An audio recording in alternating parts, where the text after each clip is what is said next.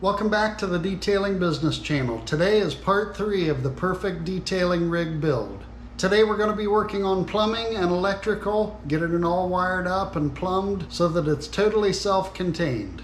If you missed part one and two, the links are in the descriptions to start from part one. In part two, we ended on building the framework, and off camera, I ended up painting the framework. I actually used rhino lining, the roll on bed liner stuff. And this stuff is waterproof and strong as can be. So I think it was a pretty good choice over just paint.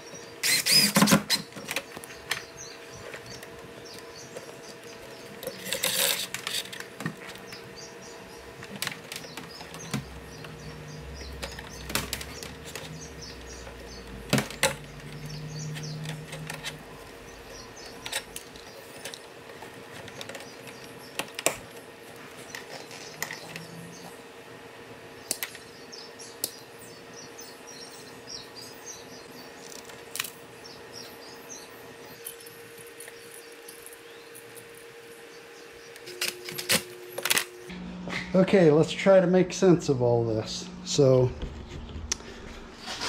here's how I got it going 12 volts out, one goes directly to the motor, which was the black wire. From there, it splits off and goes to the switch, running the black wire back to the motor. So now when I fire the generator up, it's getting 12 volts to the switch. When I flip the switch on, uh, the motor kicks on. This switch is for the pump. This switch will be for the pressure washer, which I don't have hooked up yet. But uh, let me turn the generator on.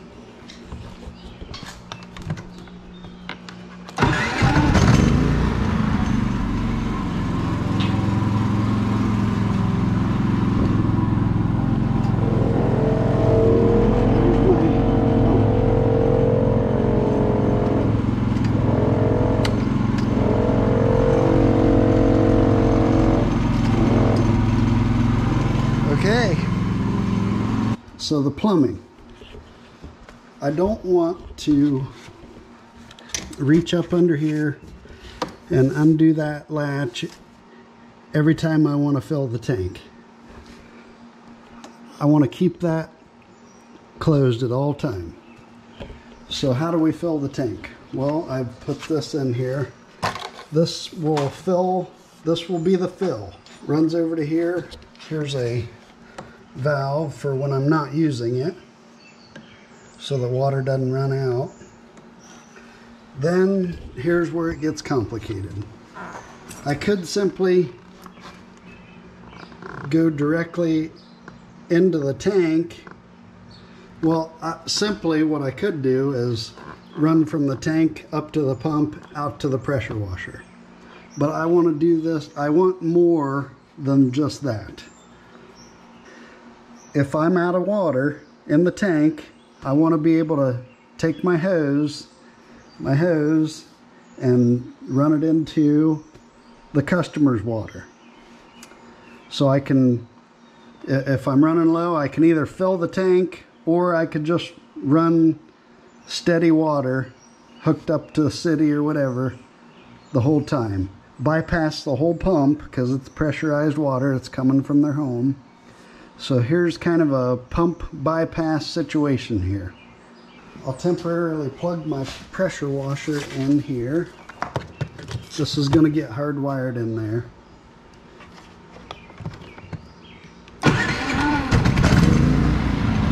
Generator's on. Should have power to the pressure washer. Alright, so there's that. Now all I got to do is turn my pump on. That'll start pushing water there.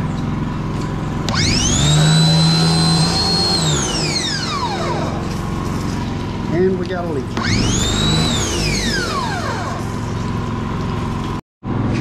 Okay, leak's fixed.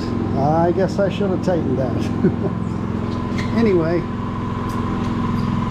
pump is on, pressure washer's on. Totally self-contained from the water. I should uh, have pressure here. Another situation I had to account for was how do I fill my extractor with the water in that tank? That's why I put this here. It's on a valve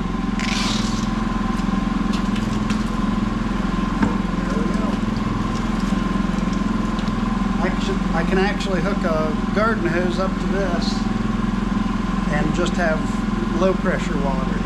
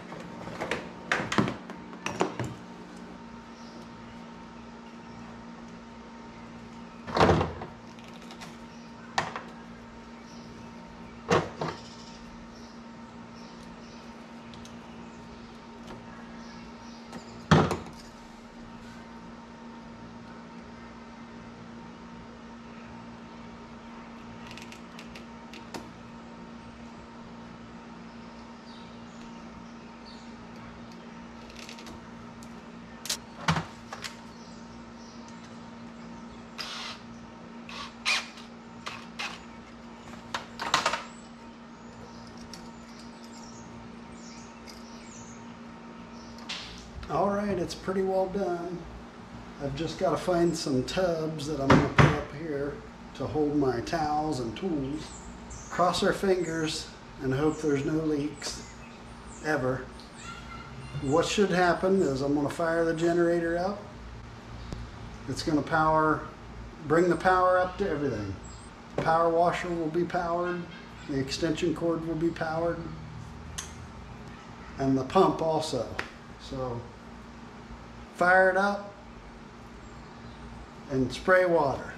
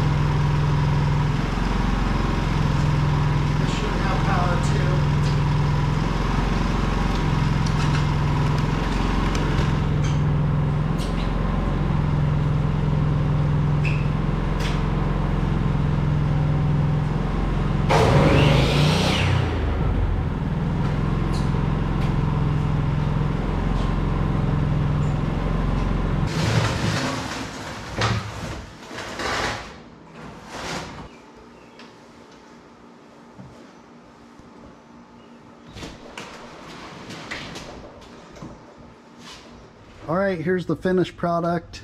I've got a few more things to do. I still need to get some tubs for my tools and towels. But uh, this is basically how it's going to be. All my chemicals are right here um, within reach. I have a whole assortment of products that uh, I use often so that I can refill these bottles whenever I need to. Extractors right here. I've got an output, water output, so I can uh, fill the extractor or run a hose if I need low pressure water. Pressure washer hose reel here, uh, a bucket for my optimum no rinse, electric extension wheel, gas for the generator. Got the vacuum here, the generator. I did some modifications to the plumbing. Everything is crimp fitted, so there's no leaks. So that's it. A few more things. Uh, the tubs, of course, for my tools and towels. I may put a drawer here. I'd kind of like to have a drawer here um, to put all my tools in. So I may do that in the future. When I get the tubs, I'll frame out where they go. I'll frame out for my steamer's going to go over there. So that's it. A few more tweaks and uh, it'll be ready to roll.